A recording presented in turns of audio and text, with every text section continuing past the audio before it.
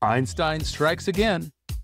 Over a hundred years after he predicted it, astronomers just watched a black hole twist space-time itself, and a doomed star is wobbling because of it. Here's the scene. A supermassive black hole shreds a star, but instead of a smooth orbit, the star's debris starts tilting, twisting, and wobbling like a spinning top. That wobble? That's frame dragging a wild effect straight out of Einstein's general relativity. The black hole is spinning so fast it actually drags space-time around with it.